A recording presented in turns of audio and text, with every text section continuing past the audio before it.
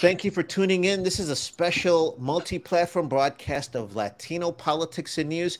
I'm Tony Diaz, a Libro Traficante, and I just want to remind folks that this is airing live on social media.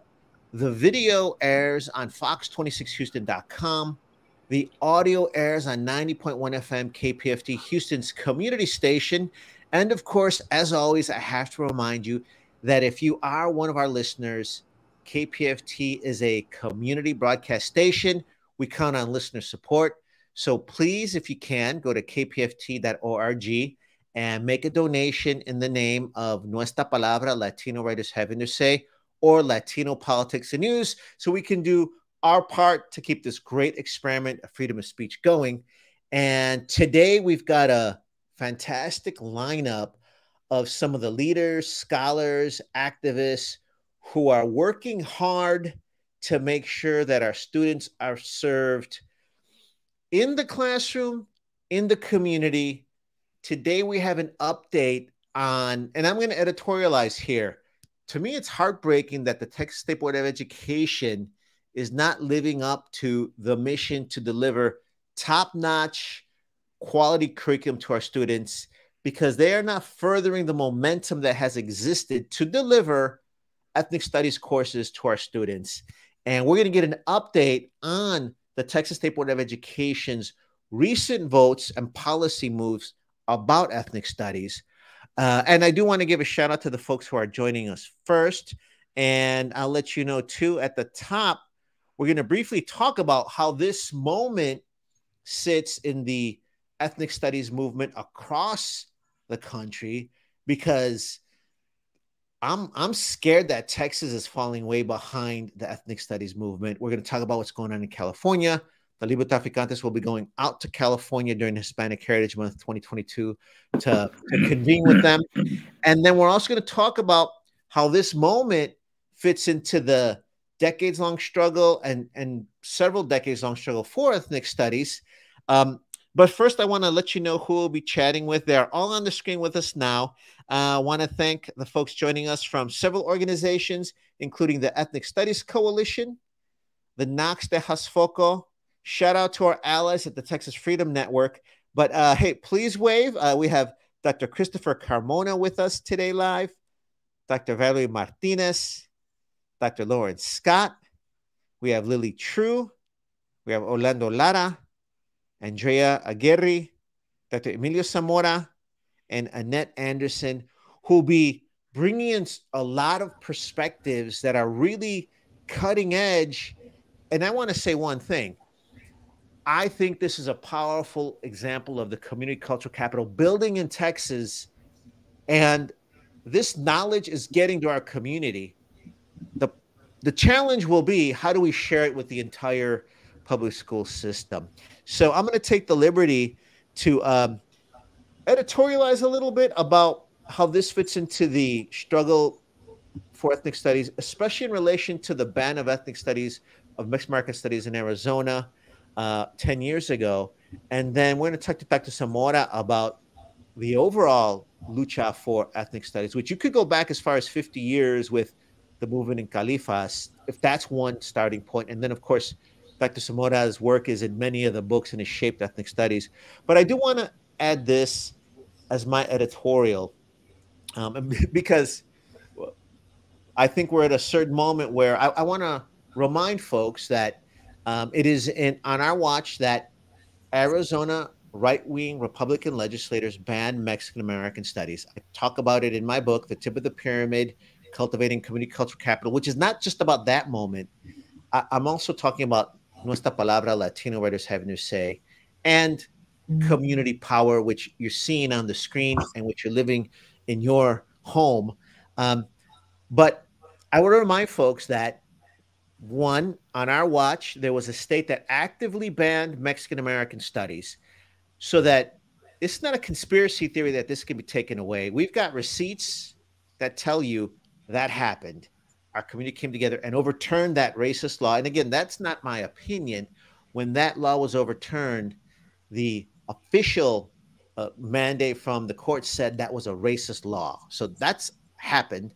The other thing I want to remind folks is that our community responded to that and we refueled the ethnic studies movement in Texas, where as early as 2010, you had the Texas State Board of Education board members saying crazy things like Dolores Huerta is a communist, uh, refusing to include her in any curriculum at all. Um, that's what the Texas State Board looked like in 2010. What's powerful to me is that a few years later, based on all of our efforts, the Texas State Board of Education winds up in a moment where um, they wind up voting unanimously to endorse Mexican American Studies statewide. I do want to remind folks how ugly a fight that was. That was dragged out several years. Uh, that included a moment when a former Texas State Board of Education member tried to introduce a book falsely titled Mexican American Heritage, that, as all of you will remember, was written by a white former Texas State Board of Education member with all white writers, not one ethnic studies scholar, and included such racist notions such as a definition for Chicanos as people who want to overthrow Western civilization. This would have been in curriculum right now had our community not stood up against that. What I want to remind folks too is that if you recall the year that that unanimous vote from the Texas Board of Education came down, that was the same year that Republican Senator Ted Cruz was being challenged by Beto O'Rourke for Senate, and that race was down to single digits. I point that out because what hasn't really been talked about much is that it to me, there's got to be a correlation. At that time, we had six the the the Tejas Foco Mas Focal K through 12 Mexican American Studies Coalition had six press conferences in six regions of Texas at the same time, which is when that state board relented. They didn't say that was why they relented. They didn't say that they relented because perhaps the community angry and fighting for that might tilt that election for many points. And I don't want people to to um, make it seem that I'm saying, hey, we cost the election, because I don't want people to jump to that conclusion either. What I do want to say is that at that time, those were the factors in place when all of a sudden that same Texas State Board of Education unanimously endorsed Mexican American Studies. And then the next year after that, that same school board unanimously endorsed African American Studies. That seemed to be the wonderful era of Texas, which has ended this week. I'm going to say that. And again, I'm editorializing. I want to speak for anyone or any group as an individual. The Libro Traficante saying this Texas State Board of Education right now looks like they want to drag Texas back to that 2010 era and perhaps that same era when you could see things like mixed American studies being banned. And I don't want to stay too mad because the wider ethnic studies movement has had a huge success in California where ethnic studies has been made a requirement for high school graduation. The, the UC university systems require it to graduate as well. They are now working on K through 12 ethnic studies as well as a certificate to teach ethnic studies in the school. That's what's possible. And that's what the greatest education America can deliver will be like. I'm going to stop there. That's too much editorializing. I'm going to be quiet for the rest of the show. I do want Dr. Zamora to give us a little bit of uh, additional context because this is at least a 50 year lucha. There's other moments for this, and you're being cited in books in graduate programs across the nation. Dr. Zamora, uh, what, what are your thoughts about the legacy of the ethnic studies movement and perhaps Texas's role in it right now? Well, I think uh, the cause for equal representation on the standard curriculum extends back in time and across space. You've already mentioned how there are people in other parts of the country that are equally concerned about providing our youth uh, an expanded view of American history and life, which requires that we begin paying more attention to people that were previously segregated from much of that life and that history. We, we're suggesting that as Americans, we deserve an equal part of that coverage, but it extends back in time. That is our effort to incorporate our experiences and our in contemporary life as well as in history. And it goes all the way back to the early 1900s when Mexicans were segregated, like African Americans, from the uh, the standard curriculum, and they then established their own schools that were apart from the mainstream education, and they developed their own curriculum, and in the process, they incorporated themselves into that curriculum. Once they get integrated to, to a great extent by the Second World War, another problem emerged, and that is that the attention of the curriculum writers in places like what is now the Texas Education Agency paid more attention to the to the Mexicans across the international border than than to the Mexicans across the railroad tracks. That was an issue with LULAC when they pressed the national state leaders for incorporation to the standard curriculum, arguing, you know, you're paying more attention to folks south of the border than you are to the Mexicans among you, and of course, increasingly Latinos. Since then, a number of things have occurred, but more recently, as you say, around 2010, we made a, a, an organized uh, attempt to insert ourselves into the curriculum. We made very sensible arguments. One is that that speaks to the basic uh, philosophical point in American life, and that is that our purpose in in on this earth is to acknowledge the other and act accordingly, acknowledge the other person's humanity. That's that's a, a, an obligation, a moral obligation that we have around the world, and we're proposing that we adhere to the self-defining principle, as well as constitutional rights that we can claim, have been claiming, the right to be seen as part of the national life and history. But in 2010, that's when we began to organize and come together before the State Board of Education, calling, first of all, for uh, the inclusion of Mexican origin people, as well as other people, into the standard curriculum that is used in our public schools.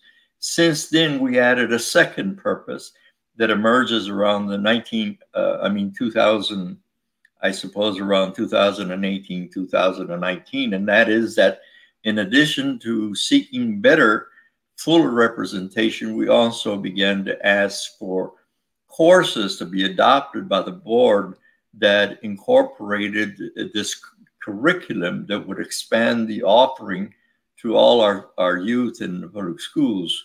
So that's when we, the board then responded as they should have and as they did, and we applauded them for adopting courses that school districts could then teach in Mexican American studies, African American studies, indigenous studies, and Asian and Pacific Islander studies. I would suggest that the next purpose that we seek is to incorporate women and gender studies. That's my personal opinion. I think women are very underrepresented in the standard curriculum. We're still operating on the big white man uh, approach to the study of history. That is the presidents, the governors. If you only look at those, of course, you're going to be uh, doing a disservice to the women because the women are not getting elected across time to those positions. So I would say that we democratize, expand the curriculum to also include women and gender studies. Um, we've done uh, analysis of the historical figures that are noted in the curriculum. The group that is least represented are the women, followed very closely by the African American, Mexican American, indigenous communities, as well as the Asian communities.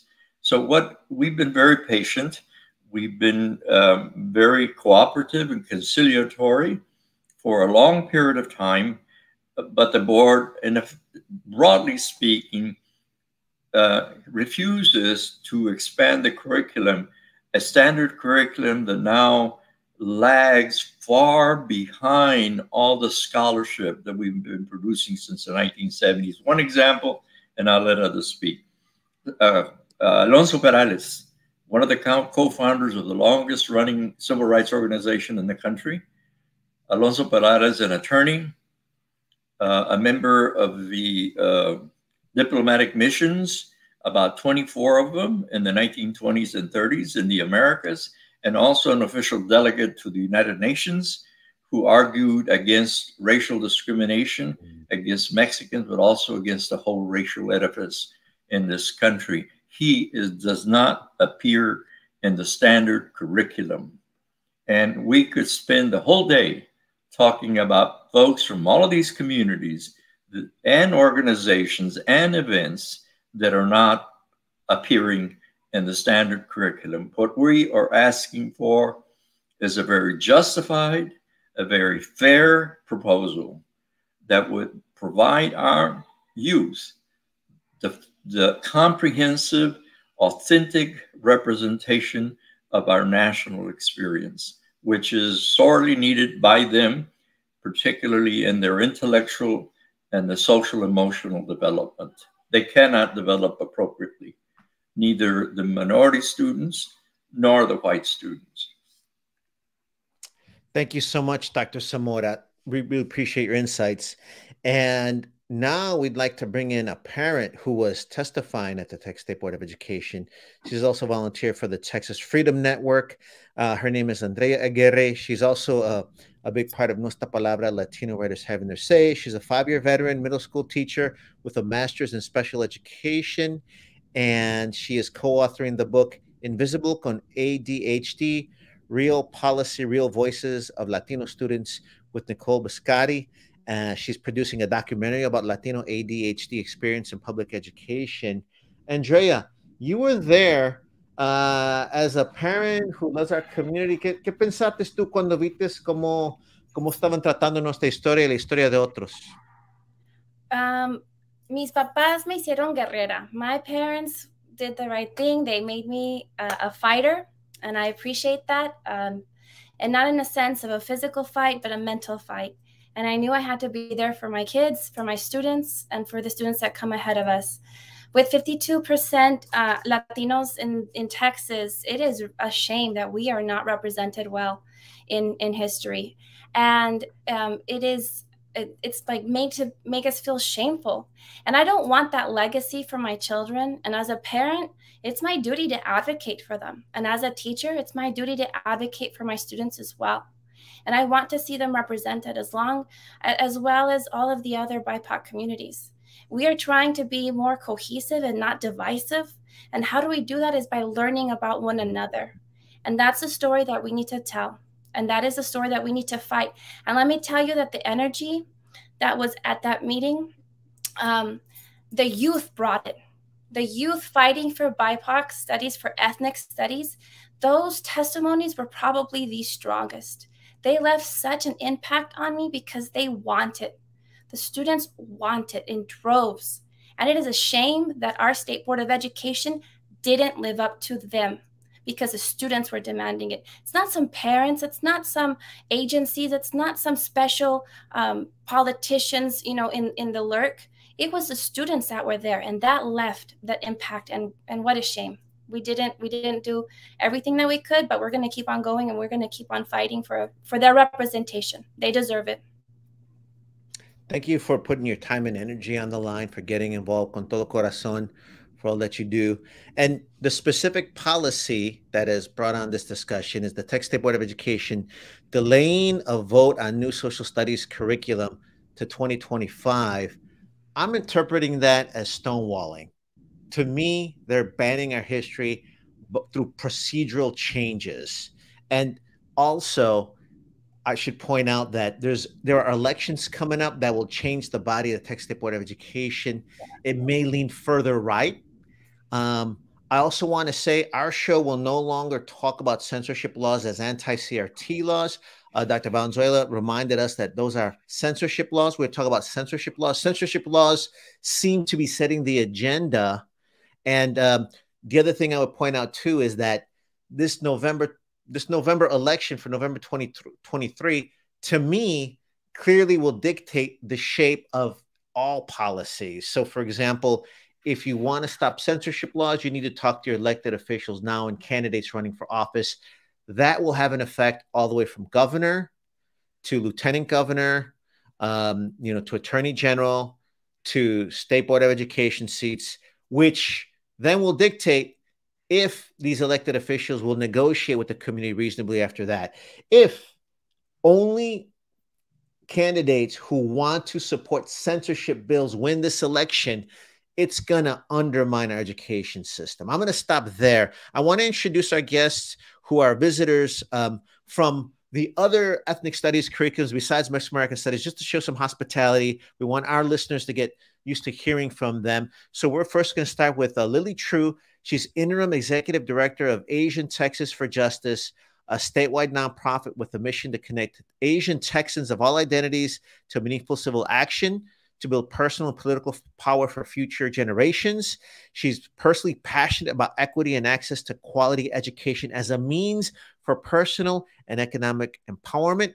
In 2019, she worked in the Texas House of Representatives on the House Committee on Public Education with the 86th legislative session. And in 2018, she was a graduate fellow at the Archer Center for Public Policy. Um, thank you for joining us. Uh, what are your thoughts, and also what what are your thoughts on the evolution of the, some of the uh, the other ethnic studies curriculums that have not been mandated yet? Yeah, absolutely. Well, first and foremost, Tony, thank you for for having me and and for inviting us to this important conversation. Um, I am just grateful to be in the space with everyone else because the ability to pass additional ethnic studies courses um, is very much riding on the coattails of those who work the Mexican American studies and African American studies um, over the last several years. And so I, I learn something from everybody in this group every day. Um, you know, I, I think from an Asian American studies perspective, we went in really hopeful. Um, but we really went in desperate for this. Um, you know, Asian American youth need this right now, and and it truly does feel life and death for us. Um, Asian Americans and Pacific Islanders in Texas, we're the fastest growing racial group in our state. If you look at the census numbers, Asian Americans, our population grew 66% in the census um, as compared to a year ago. And so we know that in the near future, in our lifetime, Asian Americans are going to be one of the fastest minority groups in our country. Um, and when the, we're going to continue to be one of the fastest growing ones. We also have one of the largest populations and just sheer numbers. Um, we are third in the country in terms of Asian American population. We're third only after California and New York. So think about the huge number of AAPI youth and students who are dying to see themselves represented in textbooks. And, and when I say that this is life and death for us, it's not an exaggeration. Um, you know, I think a lot of folks probably know that in the last couple of years, there's been a rise in anti Asian mm-hmm. hate. Mm-hmm. Uh, we're seeing a lot of hostile attacks. Just last week, there was um, an attack in the Dallas area in Plano where four women of Indian background were accosted by a woman outside a restaurant who said, Go back to India, go back to where you came from. I mean, this is real. And, you know, and we think about our young people when you think about what our young people are dealing with, Asian American youth is the only youth demographic where suicide is the leading cause of death. Wow. So our young people are really struggling. And we know that if our young people are able to see themselves reflected in their textbooks, if they have a stronger sense of identity, that that's going to help them know how to navigate this world and in a society where Asian Americans still you know, we suffer from large incidents of racism, of misunderstanding, of mm-hmm. ignorance. And, and so when this opportunity arose um, for us to present an Asian American Studies course, we were very, very hopeful. But like I said, we were desperate for this to pass. And, and, and every minute that this is not in our school's curriculum, our students are suffering. And, and, so for me mm-hmm. personally, this has been a heartbreaking week. It's been a heartbreaking, you know, few months just seeing our youth come out in droves, like Andrea said, and, and testifying and sharing these deeply personal and painful stories. And for our elected officials to just completely ignore their needs and, and their call for action now. No, thank you for for breaking it down like that. And I should mention, um, we're in different Texas cities, but in Houston, large Asian American population, and additionally, Fort Bend County is growing uh, by leaps and bounds with a huge Asian American population. It'd be beautiful for us to be able to understand each other's. And you know, as a Chicano, I want to make clear I would totally support my kids taking uh, Asian American studies for us to understand each other better. So we look forward to, to, to talking to you at length, ongoing, and celebrate.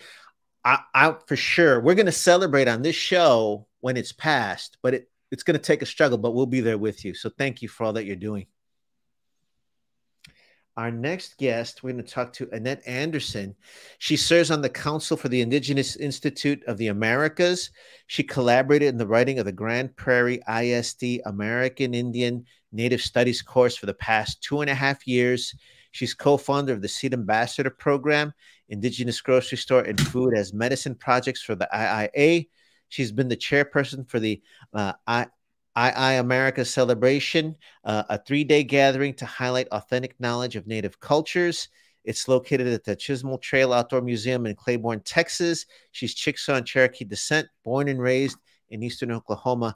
Thank you for joining us. And, and likewise, uh, could you give us your perspective, as, especially as a, one of the curriculums that we were hoping would be passed, and now we, we are in, in a holding pattern indefinitely? Yes, thank you so much for having me. Um, we had started working on the Grand Prairie ISD American Indian Native Studies course prior to all of this um, talk about CRT. In fact, I grew up in an age when CRT meant cathode ray tube. So I had no idea what we were talking about. And in fact, our whole committee, I would say, you know, our focus had nothing to do with politics. We just wanted to create a curriculum that our children and our children's children could be very proud of um, in the in the Texas schools. So we kind of got involved in the backlash that was going on without uh, really understanding what we were getting into. So we've worked for two and a half years, monthly, weekly, and sometimes daily on creating this rich, rich curriculum that covers not only American Indians as in federally recognized and state recognized sovereign tribes, but the tribes that were affected in Texas that were detribalized and were um, split off because of a river. And so this course addresses the indigenous populations across the Americas, which is what my organization, you know, really represents is from the North Pole to the South Pole.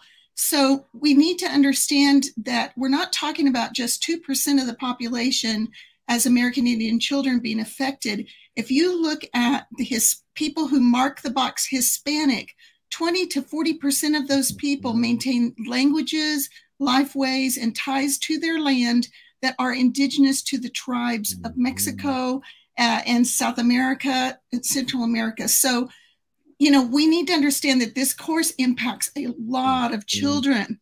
And so, what MAS, what the MAS course couldn't cover, our course did. And that's where we were so sad and so disappointed when this got pushed out. Now, we were told at the end of the SBOE um, session that they recommended that this course go and reapply as an innovative course. We already had done that back in January of 2022. We were encouraged to pull that back and then reapply in this social studies thing with a lot of confidence and, and uh, really a lot of encouragement from the state mm-hmm. board. So I think a lot of us were shocked and, and stunned by what happened uh, this past week. And that's not going to stop us. We're going to encourage other school districts to, you know, grab this course and start teaching it. But to have already been in our second year piloting this program and to have this happen, we were very disappointed, very hurt, I think would be a good description. Well, and we should remind folks that you're doing this work on a volunteer basis and your expertise could be used in so many ways. So we appreciate you dedicating your time and energy to that. And, you know, I, I personally will add to that.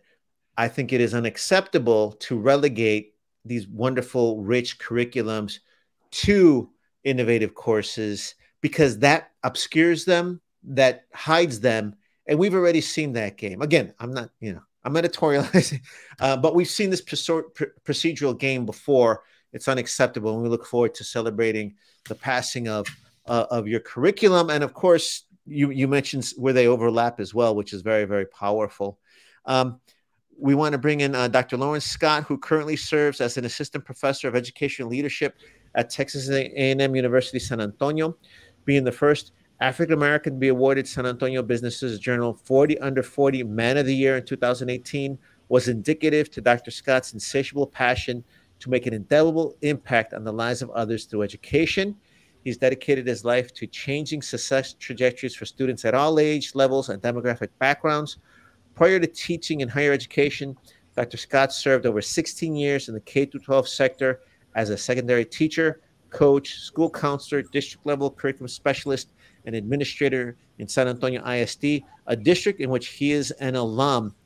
Um, Dr. Scott, give us give us your take on the current state of affairs and, and where should we be in Texas?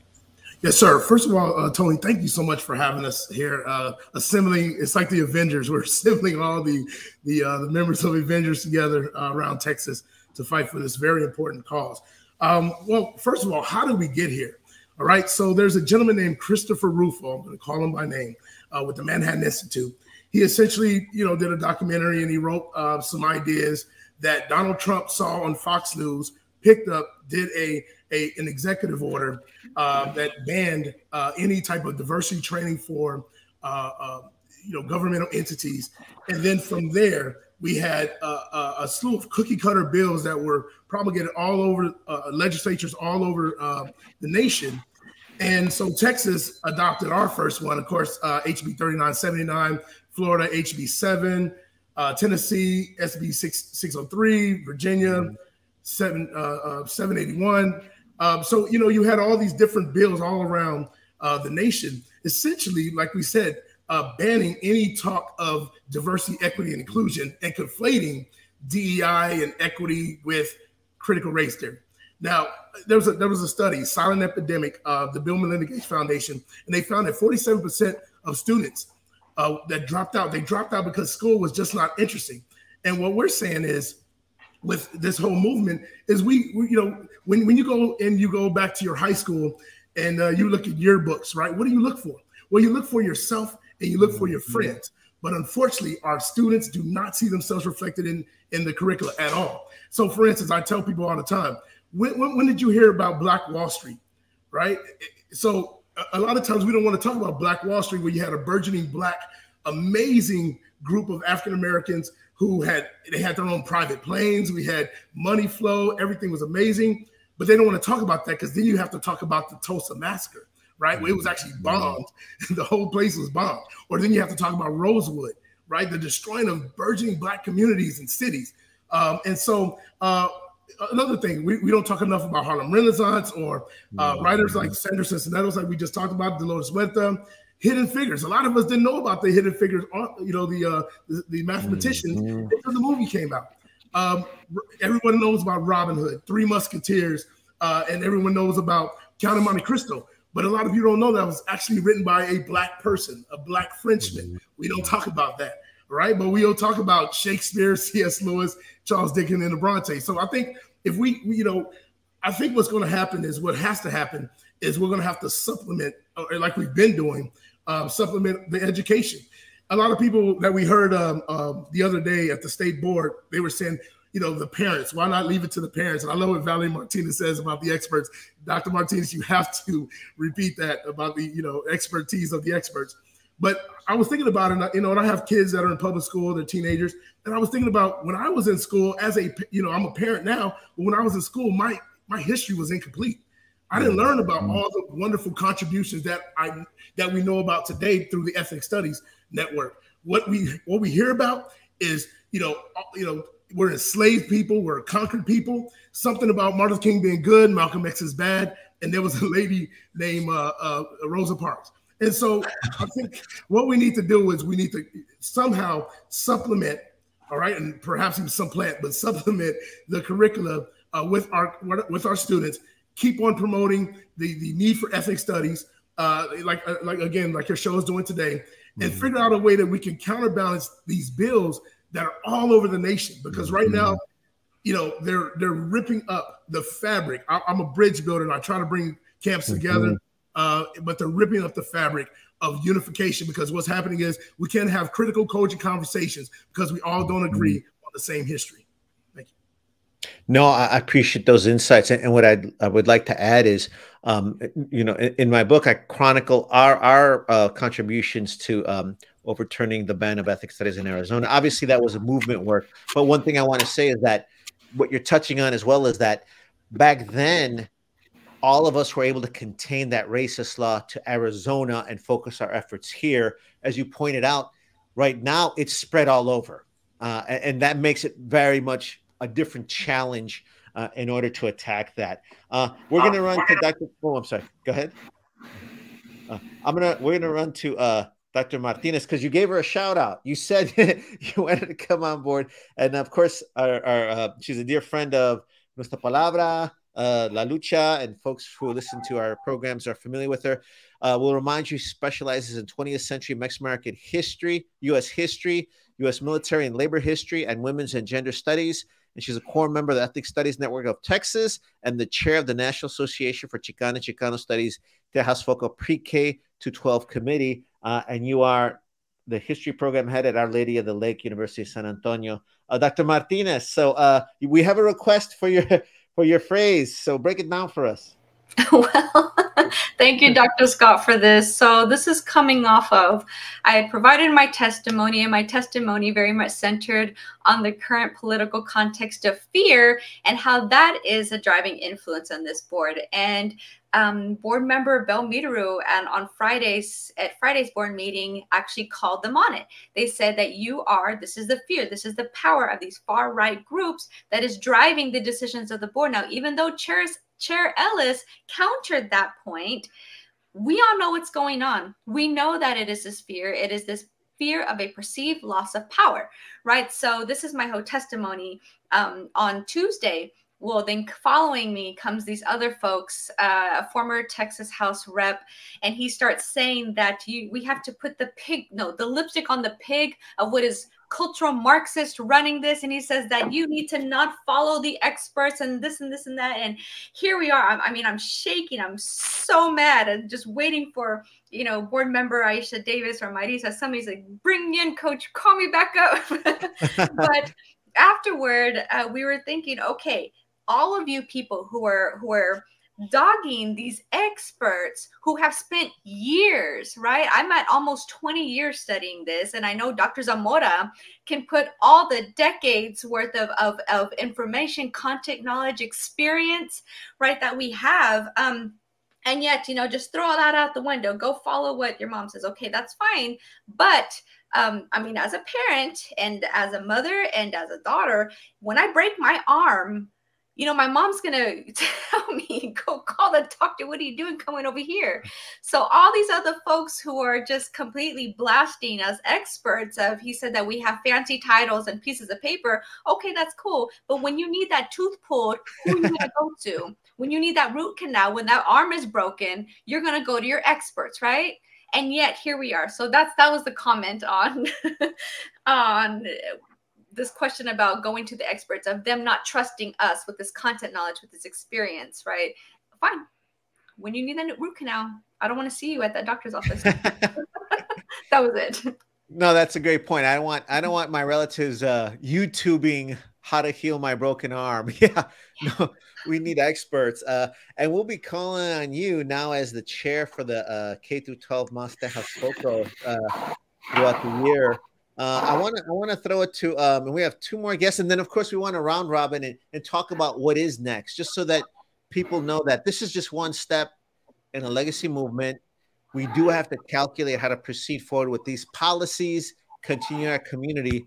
Um, but we got two more folks. Uh, Orlando, um, like he's a critical race and ethnic studies scholar, legal and uh, political anthropologist, cultural organizer, and writing doctoral candidate in anthropology with emphasis in race and justice at UC Irvine, and uh, working on literary ethnographic uh, ethnography of citizenship review and invalidation in the U.S. borderlands.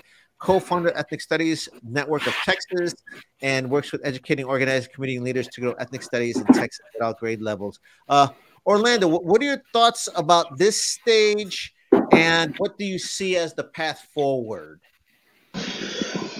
Uh, thank you, Tony. Um, sorry for the long bio. um, there's so much to say. I, I, I think that uh, Dr. Scott and what, uh, what you mentioned after he spoke uh, is right on. I think we do, we are still in a state of sort of analyzing who our opponent is, because I think that has changed. Uh, whereas you know, before the opponent often was the state board of ed. We were trying to persuade them just to like vote in favor of ethnic studies. And I think one thing that has shifted in the past year and a half is that we now are sharing the stage, sharing the room with a very well funded, well organized far right lobby, you know, Moms for Liberty, the some of the, uh, the Texas Policy Foundation that are very actively putting misinformation out, you know, and so it's it's a different opponent now, and that's happening at the national level. Thankfully, there is a, a National Ethnic Studies Coalition that's been forming for the past year that's still developing, and uh, we're in touch with them. So, you know, we're meeting the challenge. Um, and then the folks in this space, this is not the first time we've talked to each other. There, this has been uh, many meetings. And, you know, before we came on, we were joking, it's, it's nice to finally be outside of the Zoom space. We're talking to each other in a broader context. Um, so we're actually more organized ourselves. I think we're more in touch with each other. Uh, and we've developed uh, this new coalition, the Ethnic Studies for Texas Schools Coalition, which is really sort of putting us in touch with bigger orgs like AFT, uh, uh, Texas Freedom Network, and it's helping ethnic studies to now uh, help shape the larger sort of uh, discourse and agenda in, in progressive education in Texas. So all that is good. Um, the board, with this decision now, it's it's kind of a weird moment because they, they voted 13 in favor to call for American Indian Studies and Asian American Studies right next year. So they didn't totally turn their back on ethnic studies. They didn't say cut ethnic studies. Um, but what they did is they put the courses, especially the new courses, into the mouth of the lion, right? Which is this new, more conservative board. So now, for the first time, I'm hearing folks, because oh, we've always said ethnic studies now, ethnic studies now. For the first time, uh, we're hearing folks saying maybe it's not the best time. Maybe we need to um, develop these courses in our own communities through districts and kind of circumvent the SBOE while we try to change its composition. That's a new conversation. Um, but the other thing I'll say that that shifted, and, it, and I think it took us a little while to get there, is that we are now no longer just talking about ethnic studies electives. This whole process was really held up by people having complaints about this new K through 8 framework, which really was not that radical. But what it was doing, it was putting Texas history in context of US history, in context of world history. And for some people, especially the far right, they saw that as diluting, you know, Texas essentialism and American essentialism, which needs to be d- diluted. You know, that that that is uh, there's very dangerous uh, there's a very dangerous history of what happens when you move into what is really hyper hyper nationalism. Um, but I think the the shift is that now we're saying, wait a minute, how can we apply our ethnic studies knowledge to now reshape the entire curriculum and to now think about not just like what we want, what content we want to add, um, but where we want to add it. How do we want to get this content to younger learners? And how do we want to change the whole framework of what social studies is? Right. And that's the new conversation. And I think we should jump into that and keep having it even as we're fighting to get these uh, ethnic studies courses in, which I think we're going to get in. We, we can get them in. It's just a question of when do what board do we want to present them to?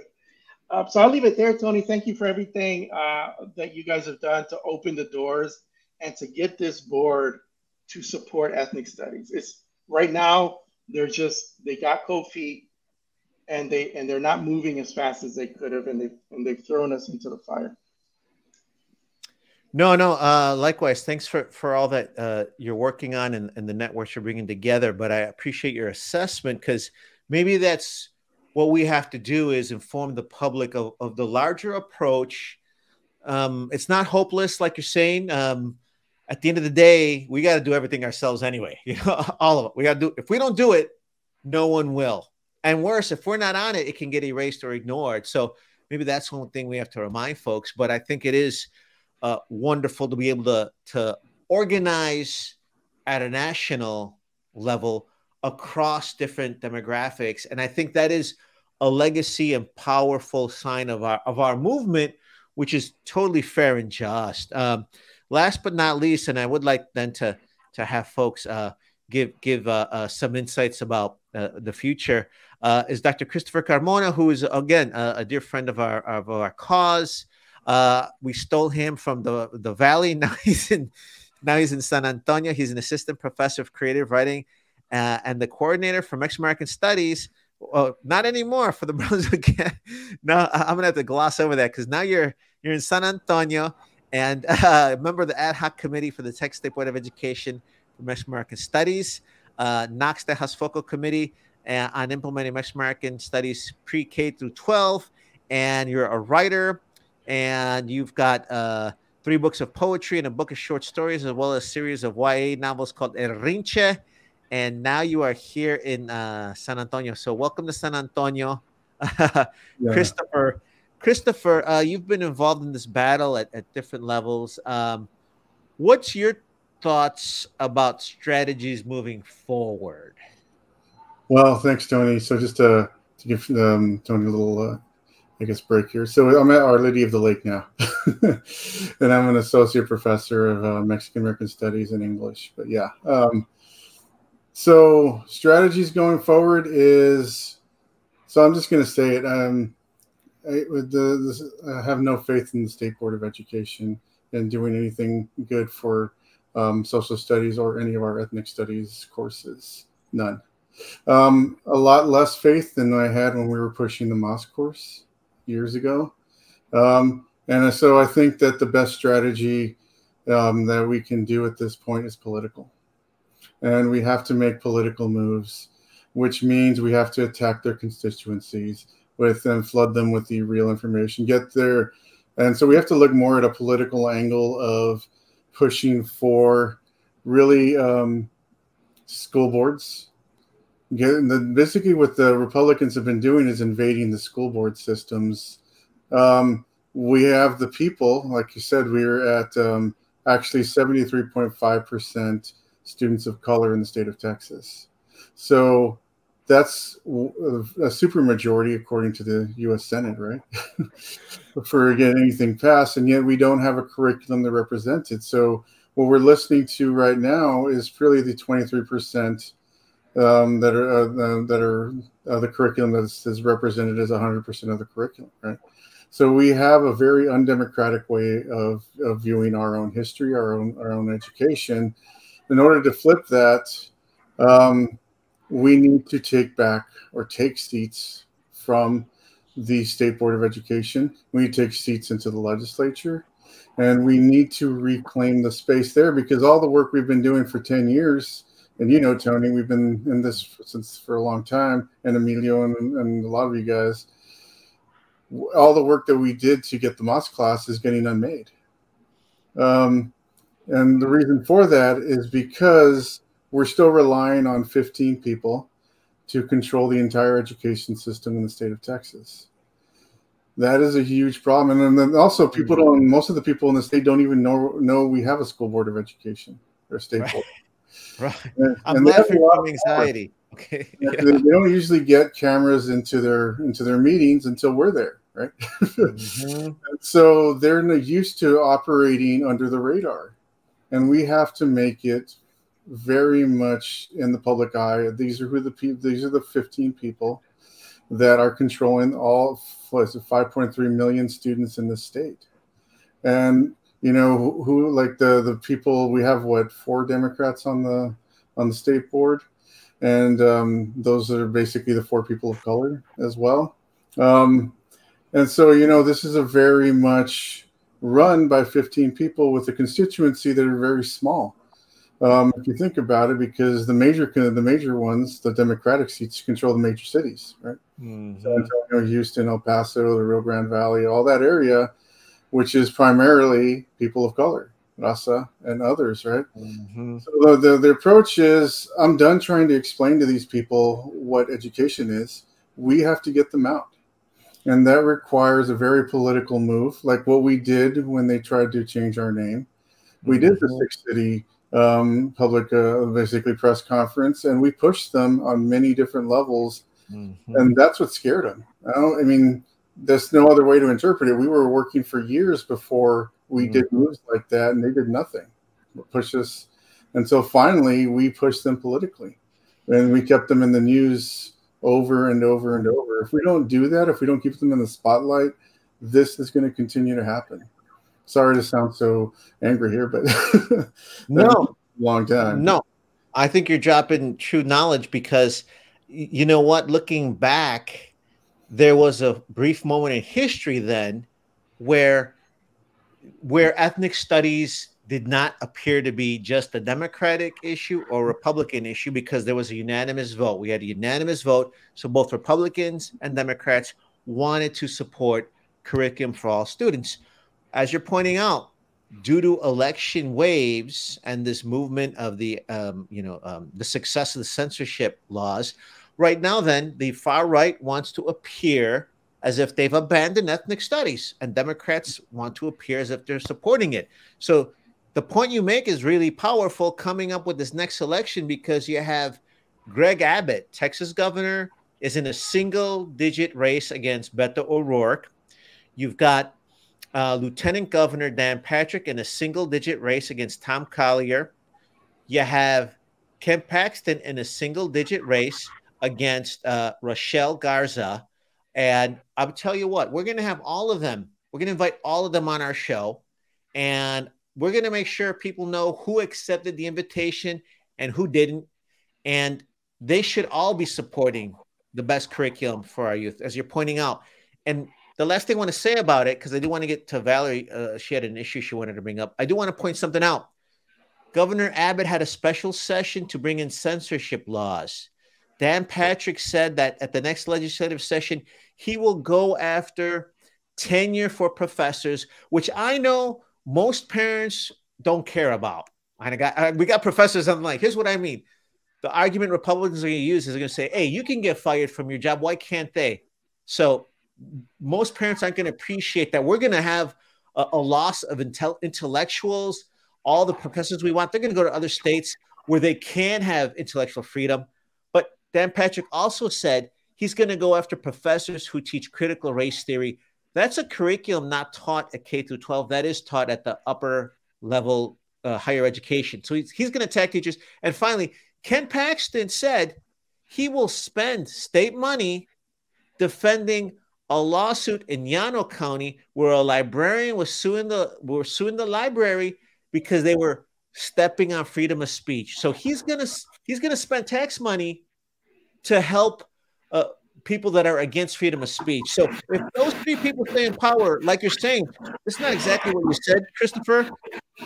Those those three people in power, you're right. They can undo laws that have taken decades to make overnight at a special session. Uh, Valerie, um, you you had an issue that you wanted to bring up that you said was very very important.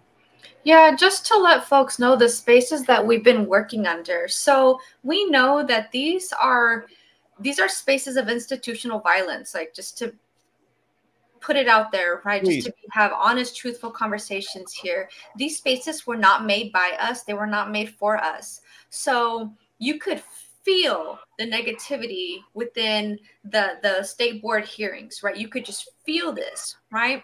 Um, but also while working with the tea now there are some allies that we have that are working within um, different various spaces, right? On the board, we have supportive members at TEA, we have supportive staff, but as a space of, of, of as these institutional spaces, these are violent spaces. Now, I had the opportunity to work on the working group alongside Lily. We were in working group E, and uh, several of our member members faced violence not terrible. physical violence but emotional.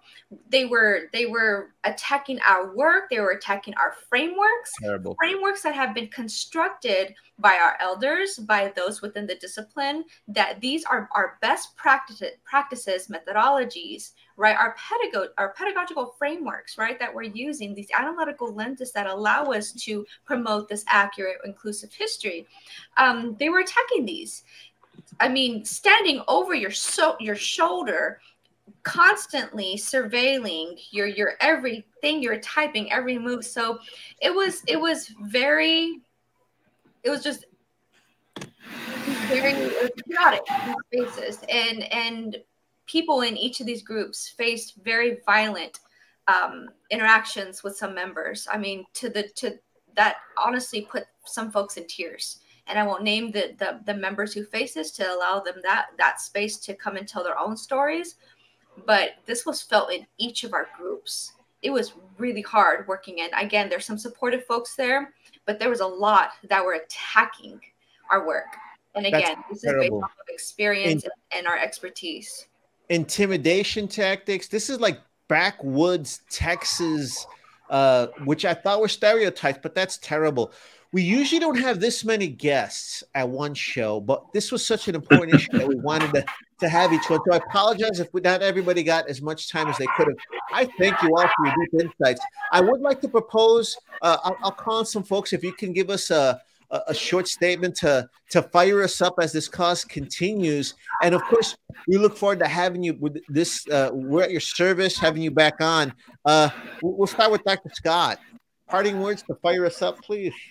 Yes, sir. So, uh, author Kimberly Jones has the uh, monopoly allergies. She says, uh, you know, you, you had about 345 years of playing Monopoly, and then you're saying, okay, black and brown people, go. And then so we're playing catch up, right? You already own Park Place, you already own Boardwalk, right? So mm. they have this bootstrap argument. Why don't they just work hard? You know, like I said, 345 years juxtaposed to about 60 years of freedom. We have a lot of, we have two, three generations versus 20 generations. We have a lot of catching up to do. In order for us to address the inequities and disparities, we have to be able to have cogent, critical conversations about race and reconciliation based on actual truths. And that needs to start in the classroom. Because if we don't do it in the classroom, they're going to take it to TikTok. Love it. Thank you so much, Dr. Scott. Uh, Lily Trieu, please, uh, we'd love to have some parting words from you to, to inspire us. Yeah, I'll, I'll do my best. I think, you know, like someone said earlier, I'm still really angry. So I'll try to inspire. Um, you know, I, I'm I'm almost 40 and I am just now doing the work of learning what it means to be Asian American mm. in this country because it was never taught to me. And one of the earliest things I started to learn was about the Third World Liberation Front and learning about how youth in the 60s Mm-hmm. Black and brown youth, Asian, Chicano, Black, Indigenous youth came together together to demand for ethnic studies at the higher education level. How they came together mm-hmm. um, as activists to resist against systems of oppression. And so when I think about them, like I get goosebumps because I look at the faces on this call and like th- this is our moment to reclaim that. And so I know in, in the Asian American community, we have benefited so much from civil rights leaders. Um, so much of what we've been able to accomplish in the last 50 or 60 years have been in partnership with other groups, right? I think about Larry Itliong, the, the Filipino farmer who worked in partnership with Cesar Chavez for labor rights. Mm-hmm. I think about Yuri Kochiyama, who worked with Malcolm X during the civil rights mm-hmm. movement for racial justice for all. There are so many examples of this. And so I just want to remind folks that that we are all in this fight together that ethnic studies is really something that will benefit all of us, BIPOC and otherwise, right? We know mm-hmm. white students benefit from this as well. Um, so I am in this fight with everyone here, and and you know I, I know we will get there. In, in the meantime, we're going to deliver everything we can to the kids. We're not waiting for elected officials. We're going to keep getting out there. We're going to we're going to do it grassroots. We're going to deliver this to kids in whichever way we have to, but it's going to happen. Thank you so much, and that that is very inspiring. Uh, Annette Anderson, please, uh, what parting words would you like to share with with our uh, listeners and viewers? I would say in our community, we have that seventh generation responsibility. Mm-hmm. Seven generations behind us have been brought to where we are, but we need to think about the seven generations in front of us. Our course needs to be taught in as many schools as possible. So, for the listeners that are on this call, please reach out to your school district and say, hey, there's a beautiful course. If we've got mm-hmm. a teacher willing to teach it, we've got people who will help them teach it. So, you know, we're working on a curriculum, you know, guide. We're working on, um, you know, supporting these teachers. So it's not a scary thing to pick up these courses, whether they were approved or not. That these these innovative courses can be taught anywhere at this point. Don't let people stop you. So um, reach out, reach out to me, reach out to Grand Prairie ISD. We just want to spread it out. They'll find out it's not threatening. That's powerful. Thank you. And thank you for reminding us that we do have the power. Uh, Orlando, Orlando, uh, parting words. Sure. I, I mean, I'll just say, you know, I, I, I'm trying to think of these, these battles that we engage in as kind of like workouts, you know, where after a really good workout, you're in pain and it hurts, and that's what we're in. But then you rebuild your muscles, you know, and you you go out and you get stronger. And I think that's what happens every this past year, two years, even as this backlash has been, you know, out there, it's mobilized so many of our folks. Mm-hmm. It's gotten it's alarmed so many of our folks. And I know that this latest move, you know, really it's it's something to laugh at. You know, they gave themselves two years to do Google research, right? That's what they did because they didn't have the guts to actually do this now. And and it's uh, you know, I'm sure it, it puts Texas in a bad light. And I, for the first time, I'm seeing the news reports coming out, and it's and it's progressive teachers that are trolling. It's not the right, it's the left that's laughing at these decisions. So I, I think the support is growing and our task is just to organize ourselves and get in touch with that support and, and just keep fighting back. Thank you, you know, everybody. Yeah. No, thank you. And actually, you're making me remember. I thought graduate school would look like the conversation in here. I guess it took us working together to, to make that happen. Uh, Andrea, I, I take it you're still going to be luchando for your family and for all families. Oh, yes. Yeah. There's 74% of uh, our students in Texas that are BIPOC. We need to wake up. What I'm fighting for is for students to um, make a difference, it up. Those parents also need to come in and get involved. There's so many professionals that are willing to teach. Just start asking questions, showing up, show up to those board meetings, demand that change from the very from your schools, from your board meetings, all the way up. We can do it, but we need the help and we have the representation and it's time is now. If you don't like school time is now. Wake up and say something because you have the power. Thank you for all that corazon. Uh, christopher um, what are your thoughts so my last parting thoughts is we started doing this before the legislature before the state board really started to consider us and we're going to continue to do it no matter what i mean but um, we've grown from what um, I think the last time we checked back in 2018, we were at 40 districts teaching Mexican American studies. Mm-hmm. Now we're at 143 of that are teaching either Mexican American, African American, or a mixture of, of the 2 mm-hmm. So we've grown 100 different districts in the past few years. And those are courses that are special topics and things of that nature, which are not necessarily TEA courses. Mm-hmm. But this is all done because we have had the success of creating our own teaching academies, training our own summits, bringing this information to the people around Texas, which has had nothing to do with the school board or the state board. Um, just want to let you know that this is a lot of the factors we have done, and no matter what. Words there. Love it. And Valerie, as the chair of the Tejas Foco K through 12, we'll be having a summit in July, right? Coming up in person.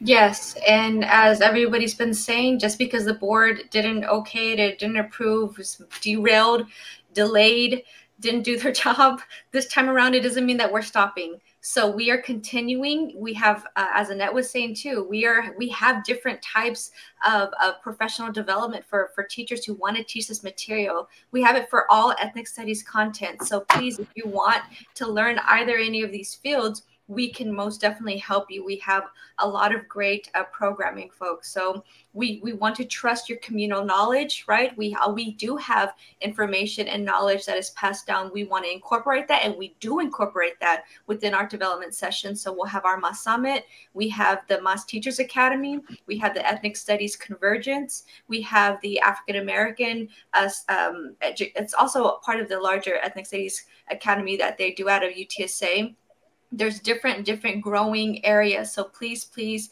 reach out to any of us and we can most definitely direct you to resources but you know sigue la lucha we're not so, stop. I wanted to save Dr. Zamora for last. Dr. Zamora what are the history books going to say about our, our movement in the future?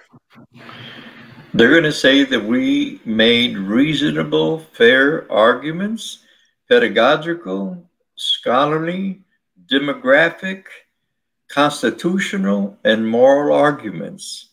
And they're also going to say the people that were in power in 2022 should have recognized mm-hmm. that the genie was out of the bottle. There was no stopping these, these causes. All of the arguments that we've made give us strength. Our numbers are growing. I understand that there's replacement based fears, but understand that we are not unreasonable. Mm-hmm. We're asking you to open the door so that we can participate. I would ask people to look up the addresses of all the members of the State Board of Education. And if you agree with us and you want to join with us, you can join by writing to them and telling them to be reasonable and fair. This we don't have to, we shouldn't have to fight over this, especially because the horizon is already telling us that the genie is out of the bottle. You cannot put it back in. We've been at it for the long run, and I'm speaking for myself. I am not going to quit in this cause. We are dedicated to this cause because it is a fair and just cause. It is for our children and mm. for our future, not only as, a, as communities, but as a nation. We mm. are super patriotic in this regard. We are working for the Republic. We want to save it. We don't want to destroy it. Please understand that when we send our best to you, people that are experienced, published, and so forth, give them the respect that they're due that ought to be enough for your listeners to be moved enough to write those letters. Thank you very much, Tony. And thank you, the audience, as well. Thank all of you for all the work that you're doing and for keeping this movement going. Uh, hey, this is Tony Diaz, Librotraficante. I want to thank Roxana Guzman, who's our multi platform broadcast producer. Want to thank Rodrigo Bravo, who is our audio producer and mixes all of our shows. Want to thank all of our team from Nuestra Palabra. Uh, thank you for tuning into Latino Politics and News and continue to fight for cultura. Gracias. Bye. Thank you. Thank you.